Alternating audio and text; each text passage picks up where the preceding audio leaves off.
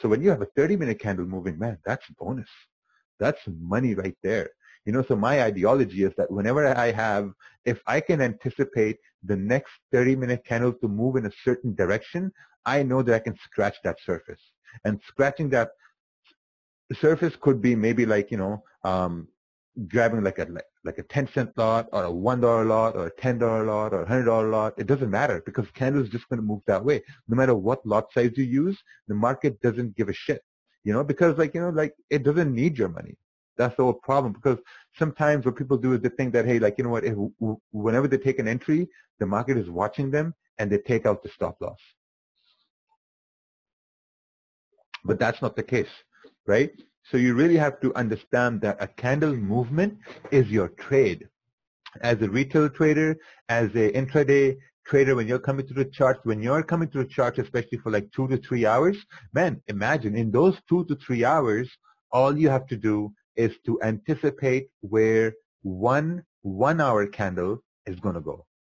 That's it. As a scalper, that's my bread and butter. I've made all my money from that like to anticipate where the next 30 minute candles are going to go. And if you're looking at a pair like let's say GGR gold, you know that those pairs are very high volume pairs. So 30 minute candle on GGR gold could be about like, you know, 20 to 25 pips. These days gold is running at 100 pips, 30 minute candles. So you have to really understand those things, right? So in the same way, if, uh, if, if the trend is bearish and price is making a low, it will do a retracement and then it will continue down to retest the low, right? And the same thing applies. So whenever uh, price is trending down, it will make a low, it will make a lower high, and then it, it will make a lower low, and the lower high, and a lower low, lower high, and a lower low. And the same thing, you know, it uh, repeats in candles too. Look, candle form, even though I drew these candles, but it actually happens too.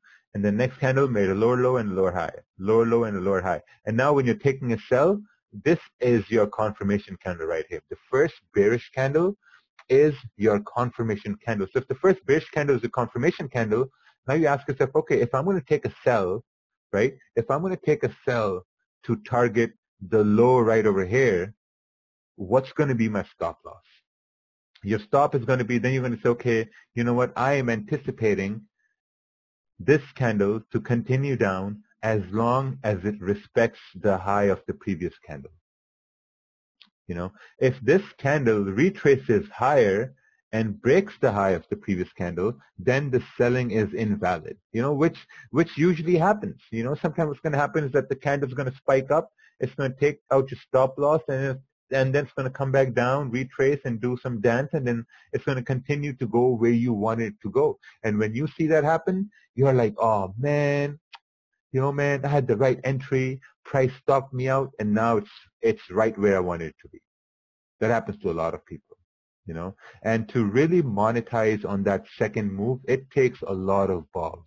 It takes a lot of confidence in your bias to take that trade. And we're going to go over this right now.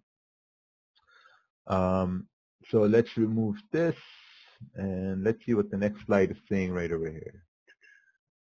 What are, when are second attempts more probable? You know, that's what you have to ask yourself.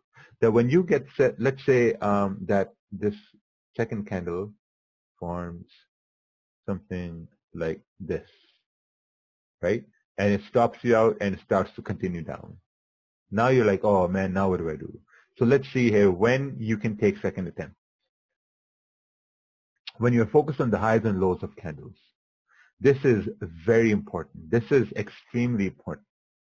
What I mean by this is, um, let's say that you have, uh, let's, let's see what's the best way to explain this, right? When you're focusing on highs and lows of the candle. So let's say we had a candle that was going bearish like this, bearish candle, another bearish candle, and then you had candles going bullish like this. You had candles going bullish, bullish, and then you had candles going bearish like this, right? Like this. This is the first bearish candle. You look around, you say, okay, you know what? Perfect. This is my opportunity to take a sell. And as you take a sell, the next candle forms, it comes down, and then it wicks all the way up and stops you out, and then it starts to go down, right? So now, when this candle is starting to go down, and